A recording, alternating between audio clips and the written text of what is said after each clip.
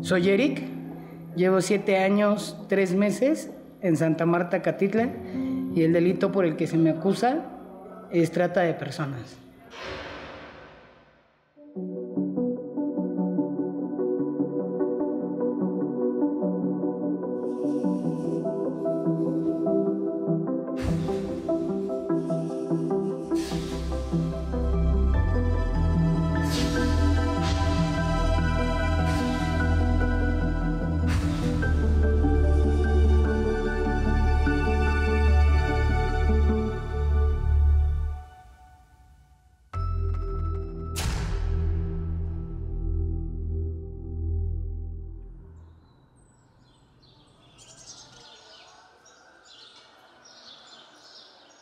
Encuentro en una situación muy difícil.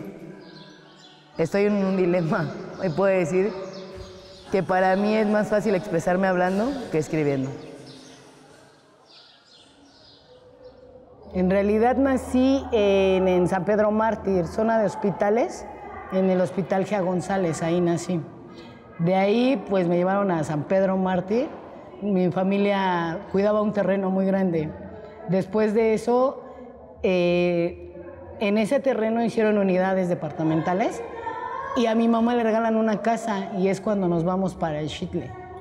Pues tengo seis hermanos, tres hermanas, tres hermanos, y aquí presente, Ratma y medio, Eric, que soy yo. Desde los cinco años que tuve un poquito más de conocimiento, que ya estaba en el kinder, fue cuando empecé a darme cuenta que me llamaban mucho la atención las niñas. Entonces, y fue un gusto a rechazo demasiado a los muñequitas. Es más, yo me enojaba con los Reyes Magos, porque yo pedía carritos y una bicicleta y llegaban con muñecas y vestiditos. Entonces yo me molestaba mucho con ellos pues, porque yo decía, ¿por qué no me traen lo que yo quiero? Después de eso, entro a la primaria y fue cuando empiezo a desatar más esa forma de ser de no ser este, como una niñita, ¿no? De jugar con mis amiguitas, de sentarme correctamente, no era brincar, saltar, fútbol, o sea, buscar esas cosas de un niño. Porque lo que yo quería hacer era ser un niño, pero mi mamá me regañaba mucho, porque al fin y al cabo mi mamá me decía que yo era una niña.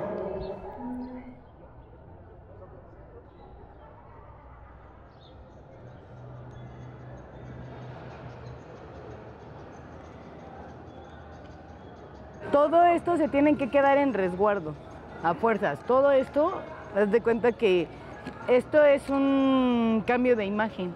Entonces, para la institución, esto podría ser como para causa de una fuga.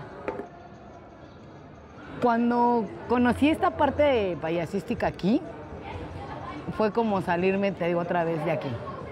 O sea, cuando he hecho shows, o sea, el solo para desesperadas, he hecho el, el, mango relajado, o sea, algo muy bonito. Entonces eso te saca mucho de aquí, Carmen. Y a mí como me encanta eso, pues la verdad me... Pero sí, sí tengo intenciones de ser famosa. Porque esto de ser payaso es cosa seria. Claro. O sea, de verdad te hacen reír mucho y todo, pero el maquillaje, la, la magia que hace el maquillaje con nosotros, si nosotros estamos enojados en el día o estamos tristes, o ese maquillaje nos hace ver alegres siempre. Yo siempre he pensado que donde esté, no debo de dejar de ser yo mismo. Y normalmente en la vida siempre he sido así.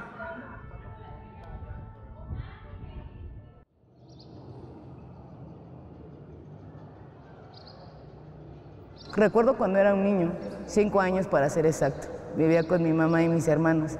La etapa más linda, bueno, según cuando uno es pequeño. En esa hermosa familia, saben, también aparecían monstruos.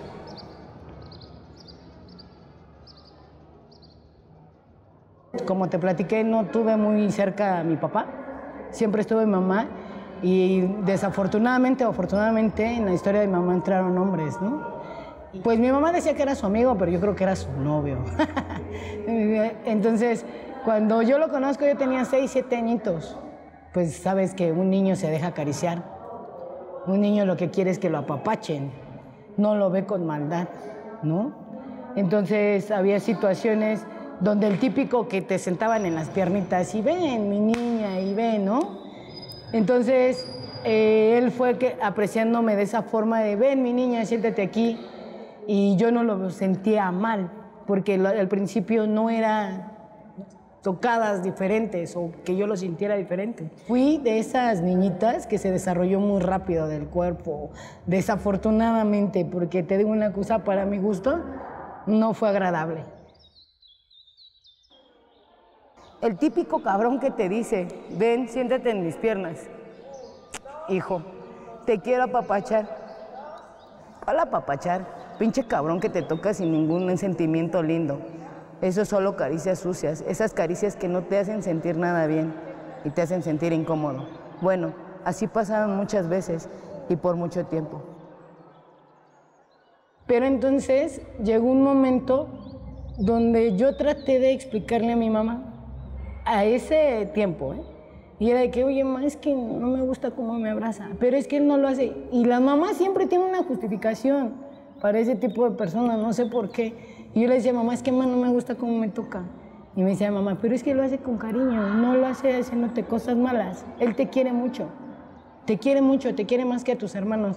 Y yo, mamá, pero pues es que nadie más agarra como a mí, a nadie más sienta en sus piernas. No, él te quiere mucho. Entonces fueron así. Entonces, como yo no tenía una respuesta que yo quisiera escuchar, pues yo dejé pasar, Carmen, la situación, ¿no? Ahora yo escuchaba a mi mamá económicamente hablando para los gastos de mis hermanos y para los gastos de la casa, yo obviamente sí él era una parte fuerte, ¿no? Era una parte fuerte que apoyaba, tan solo a mí no me faltaba nada para la escuela y a mis hermanos tampoco. Entonces, pues empiezas a meterte una idea tal vez muy mala en la cabeza y dices, pues si tengo que soportar esto para que a mis, hermanos no les falte nada.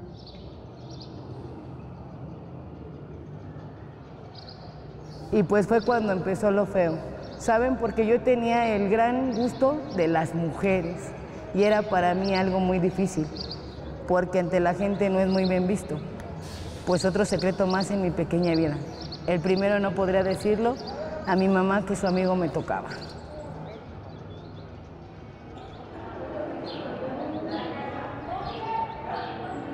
Llegué a la edad de los 10 años, Carmen, con esta situación. ¿eh? Y fue donde me enamoré de una niña, mi primer amor. Pero me enamoré de la niña equivocada, porque era la hija de mi maestra. Entonces, cuando llega esa etapa, me enamoro de la hija de mi maestra, le mando cartas, le mando citos, le mando chocolates y obviamente ella le dice a su mamá, pues lo primero que hace la maestra es llevarme a dirección y mandarme al psicólogo, ¿no? Mandan a traer a mi mamá, el director habla con mi mamá y la maestra habla con mi mamá. Pues llegando a tu casa, pues ¿qué crees? Que me dieron una golpiza, pero golpiza enorme. ¿Por qué? Porque lo único que me dijo mamá, tú eres una niña y no puedes estar pensando en esas cosas. Tú no eres una deforme, eres una niña. Una deforme. Una deforme, una persona, tú no eres una defecio Tú eres una niña, yo tuve una niña. ¿Quién te dio esas ideas que se pueden hacer? Pues después de la golpiza y de todo eso, pues menos hablé, Carmen, menos, más miedo se te mete. Pasó, pasé, me llevaron al psicólogo. Un psicólogo, Carmen, en que en ese tiempo nada más te decía, ¿estás de acuerdo? que Dios creó al hombre y a la mujer y que nunca vas a poder procrear. Entonces eran ideas que decías, sácame de lo que siento, ¿no? Porque en realidad quiero explicarte todo lo que siento y nadie me ayuda. Entonces paso, me llevaron al psicólogo y ya.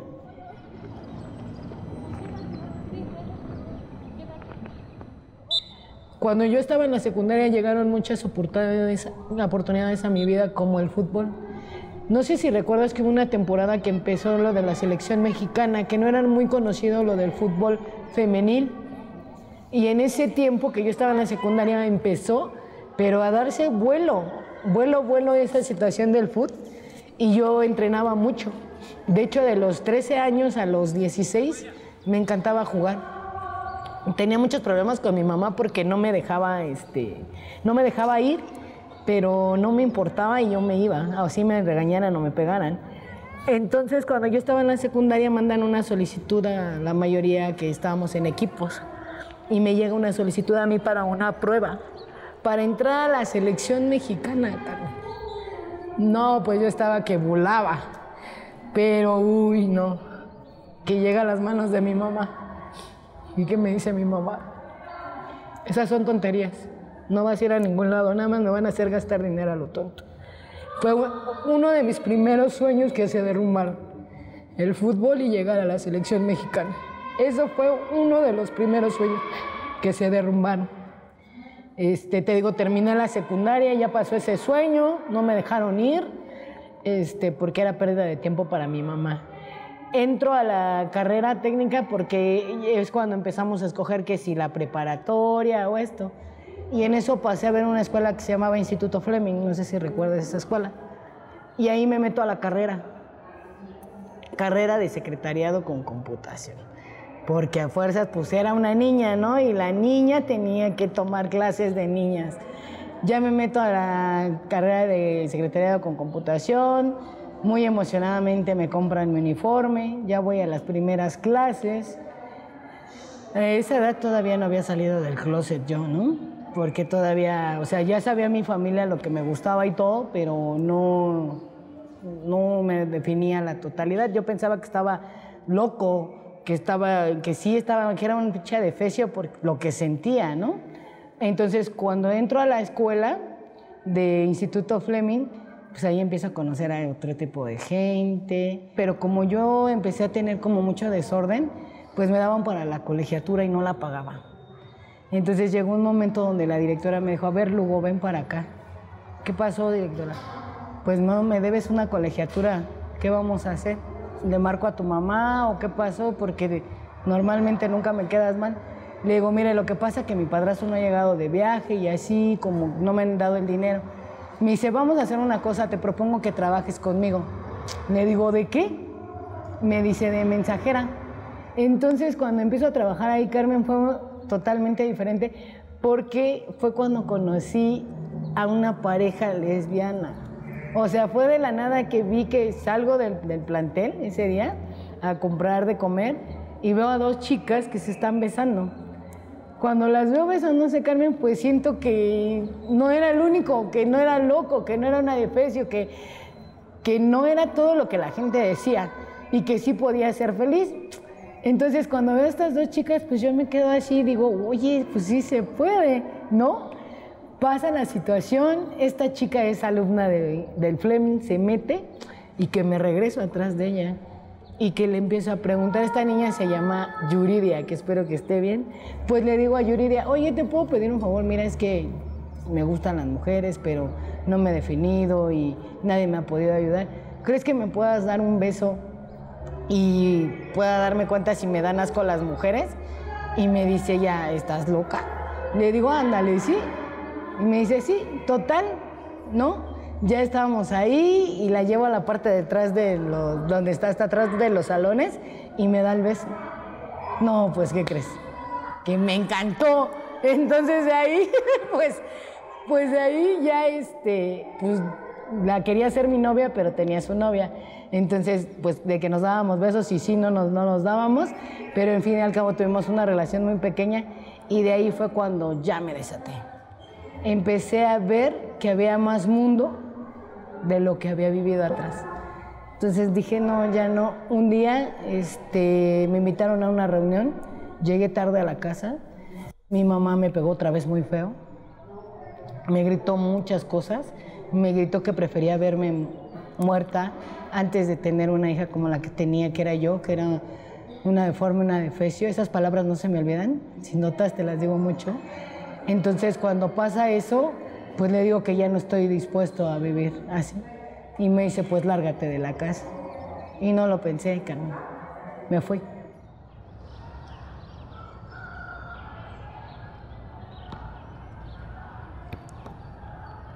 Conozco a mi primer pareja, ya seriamente, a Carolina.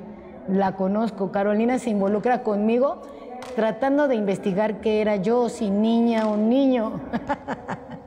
Entonces, cuando Carolina entra a mi vida, pues le digo, como me fajaba y todo, le digo, pues soy, en ese, mi nombre artístico es Eric Giovanni. El nombre de Giovanni me encanta. A ver qué pasa.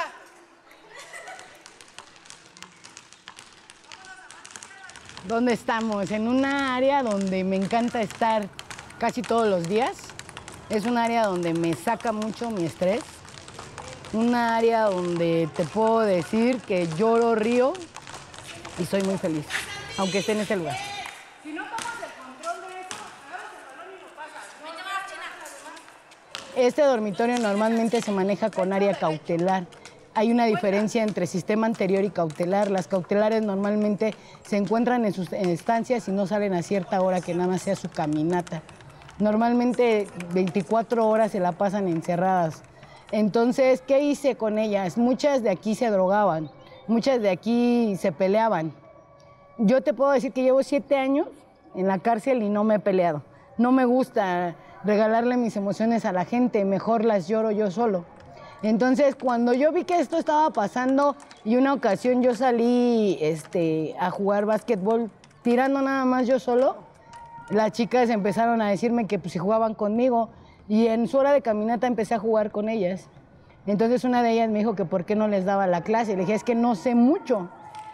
Entonces me dijo, pero pues enséñanos lo que sabes. Y te puedo decir que ya llevo un año y medio dando clase de básquetbol no sé mucho, te lo voy a repetir, pero lo básico lo sé y pues las ganas de ayudarlas, pues más. Hay muchas niñas que ya se han dejado de drogar y eso es lo que me anima más, ver la actitud de las muchachas de que quieren hacerlo, quieren hacer algo diferente. Eso es lo que me llena aquí, Carmen. Esta es mi área, te puedo decir que es una de mi área de confort y es donde soy muy feliz.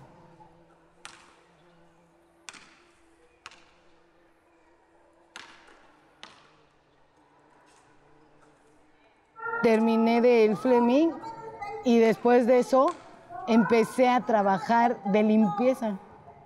Ahí todavía estaba muy relajado. Me dedicaba mucho a trabajar, igual a mi esposa, y se acabó. Me separo de Carolina en la totalidad porque vivimos cuatro años juntos y ahí mi vida se viene para abajo. Me tiro a la depresión. Me aventé como medio año sin trabajar, solamente estaba en mi casa y conocí a mi vecina. Mi vecina yo pensé que era prostituta, ¿no? Esos chismes de lavandería de las casas. Y me dice esta vecina, güey, vete a trabajar conmigo. Le digo, no manches, ¿de prostituta? Me dice, no, ¿quién te dijo que trabajo de prostituta? Dice, no, yo trabajo en un table. Le digo, ¿en un table? Pues a ver, cuéntame. Y me dice, mira, si trabajas un mes ahí, vas a sacar para irte a Acapulco o irte hasta Cancún. De verdad, le digo, pero a mí no me gustan, güey, o sea, sabes que no. O sea, yo tenía el cabello hasta acá, Carmen, así como principito. O sea, y ya era pues, un niño, o sea, yo no me depilaba ni nada. Me dice, pues tenemos que hacer mil cambios, yo no sé maquillarme. Y me dice, ¿te avientas? Y le digo, pues vámonos. Obviamente ya llego al bar con ella y pues le dice el gerente, dice, ¿qué esto qué? Y le dice, ella es mi prima, pero necesita trabajar. Dice, pero ¿cómo? O sea, si parece niño. Y le dice ella, no, pero es niña. Dice, dale un chance. Dice, no va a bailar, ¿eh? Y le dice ella, pues ni sabe. Y ya no, este, va a fichar, porque en el, en el table es fichera y bailarina, ¿no? O haces las dos cosas. Pero pues obviamente yo empecé a fichar. Fichar es tomar con el cliente la bebida que tú quieras y por eso ganas dinero. Pues duré un año trabajando de fichera en ese año aprendí a bailar el tubo, sé bailar tubo. Ese ambiente para mí fue algo muy bonito. Mucha gente lo toma como trata de personas porque yo vengo como trata de personas. De hecho, este trabajo fue el que me trajo aquí. Este, como trata de personas, pero ¿qué crees que es una ayuda para muchas mujeres que no tienen la solvencia que que no hay trabajo realmente o no alcanza el dinero de un trabajo de limpieza o de ama de casa o que el marido le pega, la maltrata y se dejan y es la última salida. Pero te voy a decir una cosa, nos convertimos en psicólogas, porque yo creo que no hay mujer que tolera a un borracho en su casa. Cuando me dan la oportunidad de ser mesero, pues yo vendía, tengo mucha labia, de hecho es mi trabajo favorito vender. Así tú me ves a vender un papel doblado que sirva para algo, yo lo vendo. Entonces, cuando empiezo a ser mesero, pues me empiezan a tratar muy bien mis patrones porque empiezo a hacer unas ventas enormes. hasta que llegó un momento que llegó un operativo. Llegué aquí a ush, Avenida San Lorenzo, aquí por Tláhuac, y fue el primer operativo que nos cayó. Ahí ya era este, gerente yo del bar, ya no era ni capitán ni mesero, ya era gerente. Ese operativo llegó a la una de la mañana y desafortunadamente afortunadamente estaban mis patrones. Eran dos bares que estaban colundados, eran dos hermanos, uno en Ermita Iztapalapa y el otro en Avenida San Lorenzo. Entonces nos llegan al mismo tiempo, no nos dan tiempo de avisarnos de que estaba cayendo el operativo, nos llegan al mismo tiempo y nos cierran a los dos. Aquí la diferencia es de que en el otro bar sí había una menor de edad. 17 años tenía la chica. Nosotros no sabíamos. Entonces, cuando termina el operativo, a todos nos trasladan al búnker. Pero afortunadamente, te digo, se oye mal, pero estaban los dos dueños. Entonces nos dejan ir a todos los empleados. Después de ese tiempo pasaron seis meses y yo estaba ayudando todavía a mis patrones jurídicamente a llevarles a las chicas a que declararan para que pudiera llevar su proceso más rápido. Y me dicen ellos, oye, ¿y si quitamos los sellos y buscas quién te apadrine para que tú lo abras o buscas un socio para que tú abras ese bar? Y les digo, ¿de verdad? Y me dicen, sí, tú busca quién te meta al capital, ya tienes las mesas, ya tienes todo, y nosotros hacemos que te quiten los sellos de clausura. Entonces van y nos quitan, de esa parte la delegación nos quitan los sellos y nos dejan trabajar. Entonces ya no soy ni gerente ni nada, ya soy casi dueño, porque yo manejaba el bar. Este, mi socio nada más él ponía el dinero, yo le decía, necesito tanto de vino, necesito tanto de cerveza, necesito tanto de dinero y él lo llevaba. Nada más él llegaba y recibía dinero. Yo ya manejaba el bar a lo que era mi antojo. Yo contrataba, yo veía chicas, yo veía todo. Entonces ya era mío el bar. Llevábamos tres meses trabajando, Carmen, cuando me cae el operativo a mí. No me dejaron ser. Tres meses. Pero obviamente como ya sabía qué estaba pasando, yo quité tubo, ya no las vestía diminutamente, este, ya no había salidas, ya no había privados, ya no había nada de eso, porque por ese lado nos daban. Entonces nos cae el operativo, pero nos cae el operativo por ruptura de sellos. No hicieron bien el papeleo. Quien nos tenía que haber quitado los sellos era PGJ, más no la delegación. Entonces, cuando llegan estos del búnker, pues ya llegamos al búnker y tenían todos los datos, ¿no? Tenían el acta de levantamiento de sellos, todas las credenciales de mis empleados, de todo el mundo. Pues pasó que allá me modifican el delito de trata. Se supone que yo iba por ruptura de sellos, no por trata de personas. Entonces, cuando estábamos allá, ya nos cambian el delito, pero nos separan a mi hermano, a mi esposa, porque me casé, a mi esposa, mi esposa es mi causa, y, este, y yo, nos separan de todos los demás empleados. Y pues cuando nos separan ya es cuando nos vuelven a hacer la entrevista, ahí el MP, y ya nos ponen en las fotos, ya nos ponen trata de personas, pero no supimos por qué motivo. Y como no tuvimos una defensa, no tuvimos un abogado ahí, pues no pudimos defendernos. Me pedían 700 mil pesos, Carmen, para podernos ir los tres, pero yo no lo tenía. Te digo, yo llevaba tres meses, apenas le habíamos invertido al bar. Apenas. Y pues obviamente yo traté de sacar a mi esposa y a mi hermano, pero pues nos agarraron a los tres.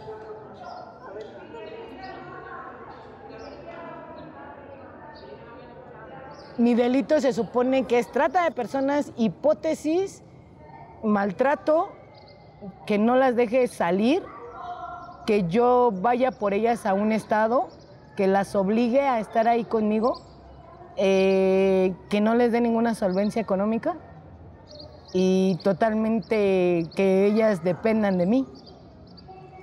Eso según es el delito de trata de personas. Pero entonces ni por lo que yo vengo, pues nunca manejé eso. Como te vuelvo a repetir, ellas entraban a la hora que querían.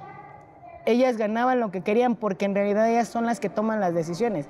Si ellas en algún momento se quisieran ir con alguno de los clientes, ellas decían si sí o si no, nunca se les obligaba y salían del lugar, mas no estaban en el lugar. Yo estoy aquí porque no tuve una buena defensa. El abogado que me, que me llevó mi caso no sabía lo que era trata de personas. De hecho, cuando me dieron el auto de formal prisión, llegó y me dijo, ¿por qué? Y le dije, pues dime tú por qué si tú eres el abogado. Yo lo único que quería, Carmen, era que sacaran a mi esposa y a mi hermano. O sea, a mí no me importaba nada más que ellos. ¿Por qué? Porque eres a los que menos quieres afectar. ¿Sí me entiendes? De hecho, eh, cuando fue el operativo, te digo, yo escondí a mi esposa. No te platiqué esa etapa, pero yo en la, en la parte de arriba teníamos una bodega y mando a mi esposa a la bodega. Pero la señorita, por saber qué me estaba pasando, hizo ruido, o sea, no la habían encontrado, Carmen. Pero hacen ruido, se empiezan a reír, no sé si pensaron que era un juego, no sé qué pensaron. Y en ese momento yo volteo y ya me la bajan encañonada pues sentí que todo el mundo se me venía hacia abajo, porque mi hija tenía cinco años, era una bebé y la tuvimos que dejar sola con mi suegra. Alexa está aquí. Alexa, te digo, tiene cinco meses que nos separamos. Ya estamos viendo lo del divorcio, pero Alexa vive en el F.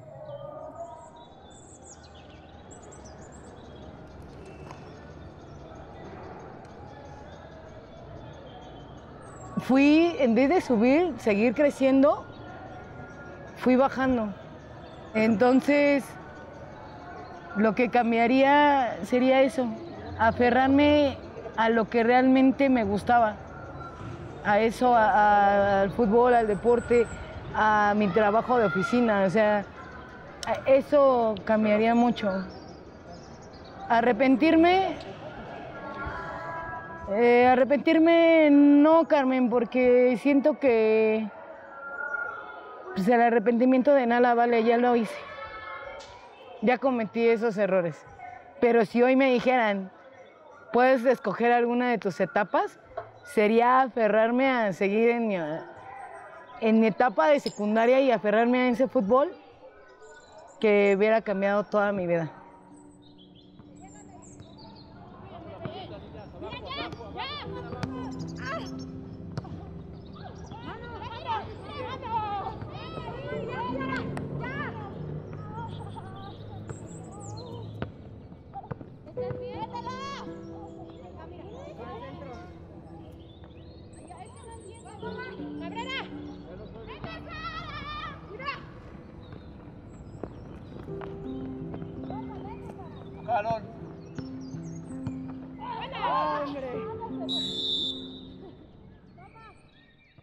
¿Cómo me reciben? Como Erika. El respeto yo creo que me lo he ganado porque aquí como tal no dan un respeto así. Aquí siempre es de, usted es una señora y es la señora Erika y, y así me voy a dirigir a usted. O sea, aquí nunca es de, oye, pues porque eres, porque eres trans, porque eres esto. No, no, no, no. O sea, aquí la ley te manda, o sea, las custodias es de, a ver, señora, hay una jefa en específico que, ah, de verdad, que a ver, señora, a ver, y es de, aunque te digan Eric, y sí, yo sí de verdad sí les he contado, o sea, no soy agresivo porque nunca les pasa poder ganar a las de negro o a nadie que trabaje en este penal. Pero sí he sido así como que, te voy a pedir un favor, no me digas Eric, y no, pero no me recalgues eso de señora o que soy mujer, porque en realidad yo se lo digo, yo me siento para unidad, yo sé quién soy, pero sí dame un respeto. Últimamente que han venido las fundaciones, se ha sido mucho eso que nos han marcado y nos han ayudado, y ha habido custodias que han estado, o sea, como ustedes que traen una custodia que vienen a ver qué, ellas escuchan y es de, no, pues si tú le pides de favor, y hay muchas custodias de que ya me tratan como, ¿qué pasó, Eric? Pero también es como uno se maneje, porque aquí hay una conveniencia de géneros déjame te platico que aquí hay mucha gente que se hace decir lesbiana, transexual, bisexual, pero por una conveniencia económica, por un paro a su soledad, por, ¿cómo te puedo decir? No porque realmente lo sean, Carmen. Hay mucha gente que aquí no es realmente lo que aparenta ser. Uno no se debe de sentir cabrón cuando le conviene y niña cuando le conviene. Yo me siento cabrón en todas las formas.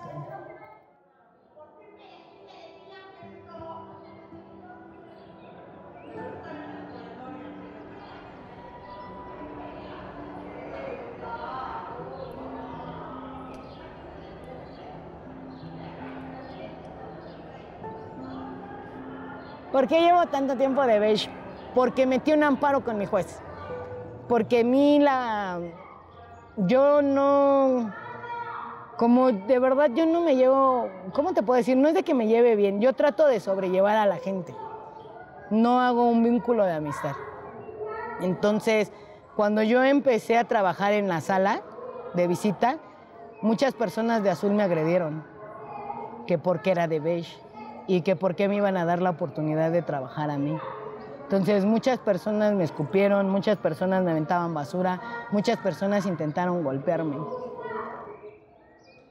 Entonces, estar de aquel lado no me gusta. Hablé con mi juez, metí un amparo, porque en mi auto de formal prisión dice que debo de comprobar mis 15 años de sentencia que me dieron en el C302 y eso fue lo que peleé. Al principio hicieron un cambio conmigo a un dormitorio que era el D, y en ese tiempo yo estaba ya casado con Alexa y a ella la mandaron al F, entonces nos separaron. Y ahí pues sí era, no nos convenía porque eran gastos diferentes, ya no era gasto de una sola estancia, ya era gasto acá y era gasto allá, y yo mantenía las dos bocas, entonces ya no nos convenía. Entonces todo eso lo metí, por el, lo metí con el juez por el lado vulnerable del LGTB, que nos discriminaron porque no respetaron nuestro matrimonio y el juez nos concedió el estar aquí en el C.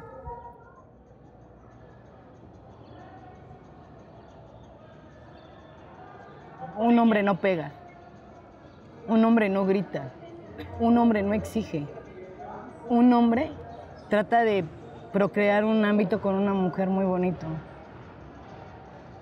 Lealtad, fidelidad, trabajador. Eso para mí es un... Mi hija, mi hija vive con su abuelita. Este, es una niña muy inteligente, ya tiene 12 años. Desafortunadamente a mi suegra le dio COVID. En ese tiempo la pasaron muy cañón ellas de hecho, mi hija siempre estuvo sola, Carmen, porque pues, obviamente mi suegra trabajaba o la veía. Entonces, cuando nosotros caemos aquí, desafortunadamente con mi familia nunca conté. Ellas tuvieron que salir adelante solas. Victoria aprendió a salir adelante sola. Victoria nunca me bajó de calificaciones de 8. Eh, ahorita ya va en segundo de secundaria ya es una niña muy inteligente, muy, muy inteligente, y es una persona que te habla como adulto, te dice las cosas como son. O sea, así de que, a ver, papá, si tú me enseñaste que las cosas se tenían que decir así, así son, pa, no le des vuelta a las cosas. Ahorita, este, te digo, va en segundo de secundaria, espero que esté bien. Tiene un mes que no la veo y no había platicado con ella.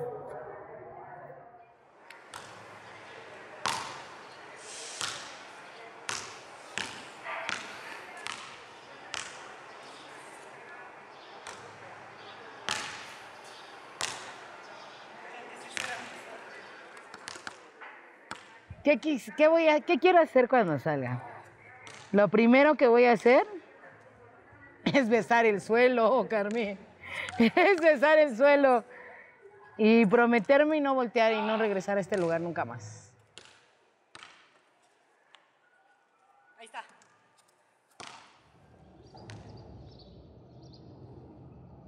Y trabajar. Trabajar mucho para poder tener otra vez mi departamento, mis cosas, mi carro para viajar, porque hoy que voy a estar solo, quiero viajar, quiero viajar mucho. Y mi sueño de ser famoso. de por lo menos una vez salir en la televisión haciendo algo, así limpiando el foro, pero haciendo algo. Pero mi sueño es salir a trabajar y, y voy por, por alguien que amo mucho, alguien que soy yo mismo. Este lugar, tal vez mucha gente lo tomará como el peor de los lugares. El peor, lo peor, lo más bajo. Pero no. Es un lugar donde me ha enseñado a, crecer como gente, a dejarme de drogar. Imagínate, en primera, dejarme de drogar. A vivir como persona tranquila sin necesidad de estar molestando al de al lado. En el ambiente en el que yo me desenvolvía había dinero, eh, alcohol, mujeres, droga, y yo hacía lo que yo quería. Pero hoy en día dijeron, a ver, calma los pies, baja los pies, papá, porque las cosas no son así. Te puedo, no te puedo decir que ha sido la peor etapa de mi vida, porque sigo vivo. Entonces esa oportunidad que Dios te da de abrir los ojos, la tienes que valorar al 100. Ah, te comenté que estaba enfermo. Ahorita me siento, o sea, empecé a hacer lo que tenía que hacer, cuidar mi salud, tomar agua y hacer, y ahorita me siento más vivo que nunca. Mi situación jurídica es de que ahorita estoy esperando un beneficio penitenciario. La, sentencia es de 15 años. Metí apelación, me la confirmaron. Me quedé sin abogados, ni el amparo directo lo metí por mi propio derecho y pues me lo rebotaron. Pedí ayuda, se me pasó el tiempo para meter la revisión y ya no pude hacer nada. Ahorita lo único que espero es cumplir siete años y medio para empezar a pelear de una u otra forma el beneficio penitenciario.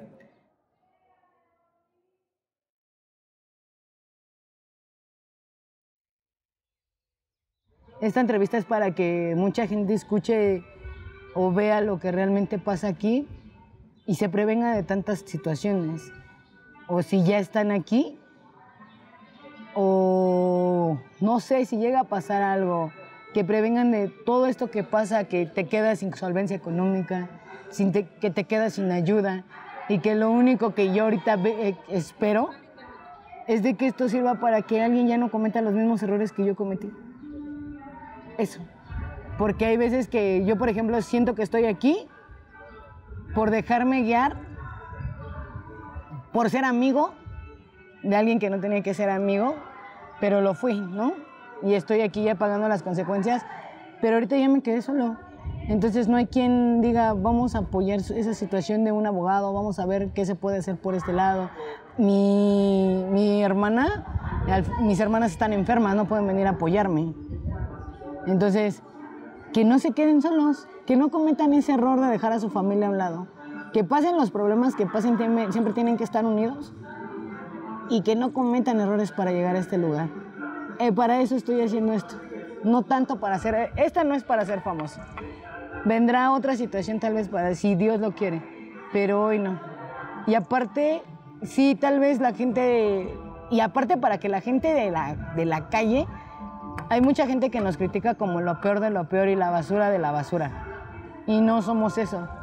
Yo al menos yo no soy así. Yo soy una persona que aquí he venido a aprender cosas. Desafortunadamente hay veces que tenemos que llegar al, peor límite y tenemos que venir a, a aprender cosas aquí.